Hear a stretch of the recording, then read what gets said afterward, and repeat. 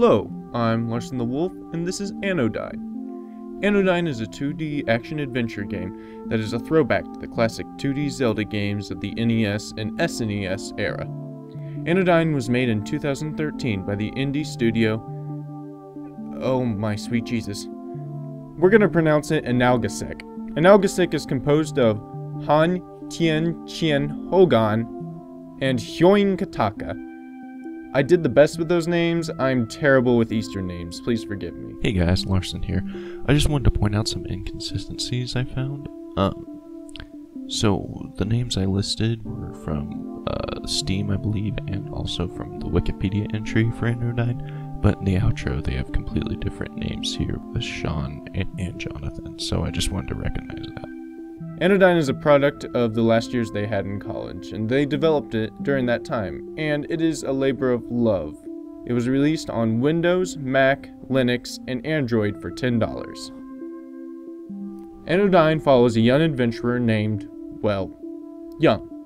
He sets off in his world to find and protect the Briar. You wake up in a weird random place and go through some tutorial rooms. You meet a hooded character simply named Sage. He explains that in order to protect the Briar, you must collect these cards to grow more powerful, and eventually you will be strong enough to protect the Briar. This sets you up for the typical MacGuffin seeking you will need to proceed the game's story along. The cool part is, the cards double as narrative pieces, as they are pictures of items, bosses, or characters, and on each of them is also a description or statement in reference to that card's particular picture. As I said before, Anodyne takes inspiration from the classic 2D Zelda games, but there are still a few unique design choices that Analgesic made that make the game its own. First, and the most obvious, is the fact that rather than having a sword, Yun wields a broom. It's functionally the same as a sword. Why?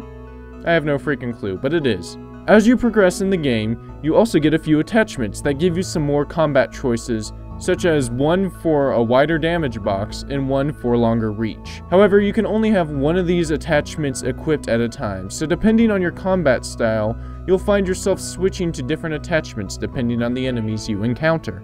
Yun's broom can also suck up these dust piles that he carries until you use your broom again. Doing so places the stored dust on the ground. Placement and general use of this function is a cornerstone to Anodyne's gameplay, you will use the dust piles for a number of things, like using it as a raft to cross water, an important task since Yun can't tread water. The dust can also be used to cover up pits, and it is a movable source of cover for some enemy attacks. All in all, I like the game mechanic, but I felt it was hard to tell what game tile the dust would be placed on at times. The world layout is extremely similar to Zelda games. There is an overarching world you can traverse and explore, if you're diligent enough, you'll find areas that will give you an edge for the rest of the game, such as a card or a cicada. A cicada is a creature you will find in certain spots that, if you catch it, which isn't hard to do, they just kind of fly around in one area, it will do this cute little animation and give you an extra life point. There, of course, are also dungeons you must tackle. They are full of grunt enemies, mini bosses, keys, puzzles, platforming segments, and of course, at the end of each dungeon, there is a boss. All in all, the dungeons were pretty well designed, and the boss battles were nothing special, but they were still fun and challenging. The worst part of this game is the platforming. Late game, will receive an item that allows Yun to jump. I guess this technically makes it a 2.5D game. At any rate, this means you're allowed to jump across obstacles and attacks. But the part of the game that irritates me is the pit platforming you must perform towards the end of the game. The edge detection in this game is god awful. You will have a hard time controlling your character when it comes to the finicky landing. And if you're like me, this will result in your untimely death. Far more often than it probably should, I might want to add. And while we're on the subject of shitty parts of the game, I should probably add this small side note. I broke the shit out of this game more than once. It wasn't really a problem as it didn't destroy my save file and I saved often, but I had to shut down the game and reboot it nonetheless. Just look at this, it's almost comical, but eh, it didn't really bother me all that much to be honest, but I would be remiss if I didn't state it in my review. Let's quickly jump into the aesthetics.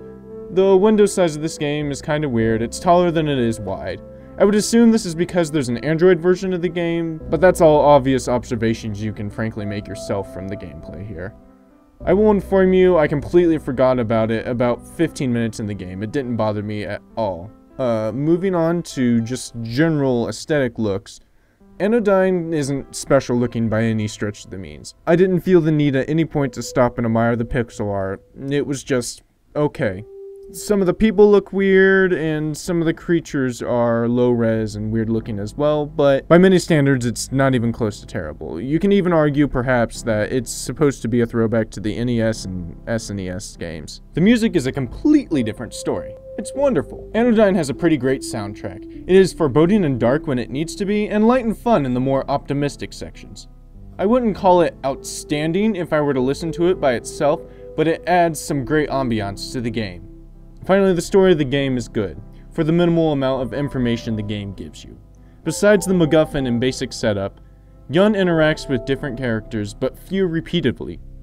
The ones that he does interact with hint at everything not being as it seems.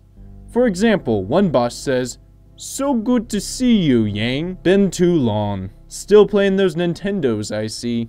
What's more, the game gets far darker and far more mature than I thought it would. This game doesn't look like it, but you'll find yourself swimming in rivers of blood, and the game saying shit like, Each generation is born from pain to die in pain.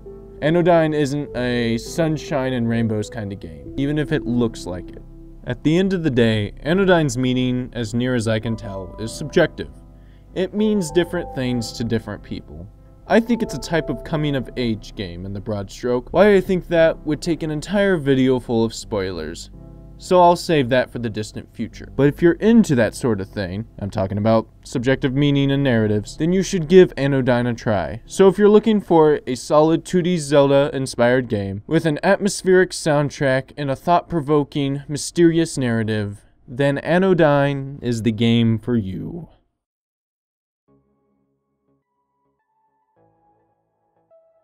Hey, you're still here. If you want another adventure game, you can click on uh, this one right over here. It's my review of Stray Cat Crossing. It's pretty fun. It's uh, it's it's pretty good. It's another one of those uh, deep narrative ones. If you were looking for that. To the left here, you can do Lisa the Painful. Its narrative is perhaps more straightforward and a lot more confusing at the same time but it's a much more well polished game and it has a hell of a cult following. So if you're interested in that sort of thing, you should click there.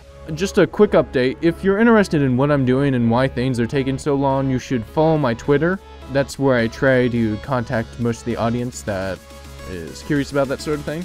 And I try to give you guys updates on what video I'm working on and the status of when my next one will coming out. I used to try bi-weekly, but I've been super busy as of late so I won't be able to upload as regularly as I was. I'm hoping to get back to it, but we'll see. I'm also thinking about coming out with some new types of videos that are not just reviews. So yeah, thanks for watching, and I'll see you guys later.